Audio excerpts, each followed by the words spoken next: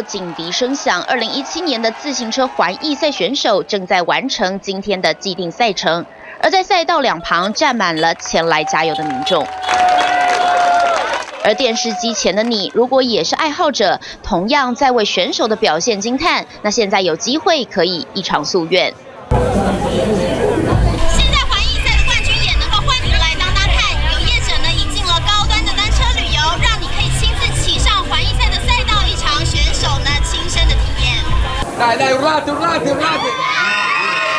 不仅能够骑，还能够走上颁奖台，体验一下领奖的荣耀感，这些都让车迷超兴奋。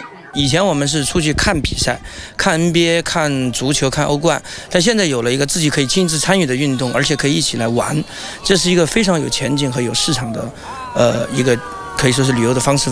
Okay, so today we are starting just before the closed section of the road.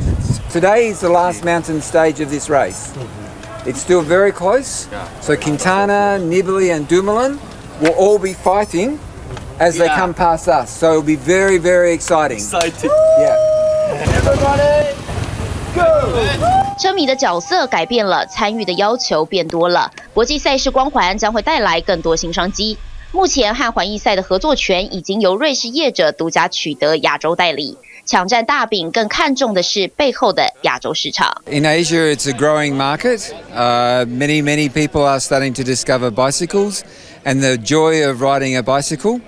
And we have special programs uh, and also people to help them train to achieve their goals, whatever that might be, whether it's climb a mountain or improve their descending. So we, we definitely have all those things to help them.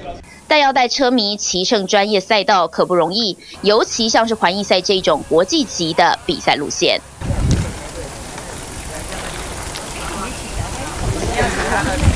好，我们可以看到呢，环意赛其实有一个特点，就是它有非常多的一个上坡。以它一次的这个环意赛，大概有二十一天的赛程，里头大概有七到十站都是像这样的一个上坡，所以对选手来说，在体力上是一个非常大的考验。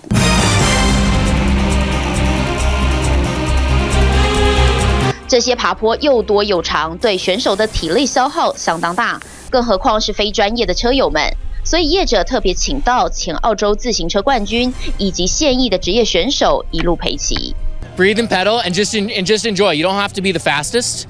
All you have to do is just keep your legs turning over and just enjoy the moment because that's what it's about. You should do training before you come to an, an event like this. Uh, the hills are really steep and they take a long time and uh, I think everybody in our team did an amazing job to get to the top, but I think next year they might come back with a few more training sessions. 职业选手陪骑不仅是确保安全，也让车迷有现场观摩的学习机会，让整个骑乘的过程充满了挑战。吓到我了，像我下坡，我我自认为我觉得下坡速度还算蛮快，而且。呃，技巧也不错，但是他的下坡真的是惊人。今天整个嗯骑下来感觉还是很好，虽然体力上很累，但是感觉的还是挺有挑战的。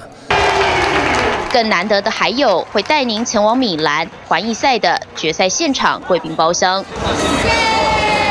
开心带着识别证合照，因为这个入门票要价不菲。虽然不愿意正面透露价格，但是除了价格贵桑桑，申请的程序也很繁杂。不过业者都能够替您办到好。比完赛的选手在包厢里头和车迷合影留念，就连记者也忍不住要抢拍一张。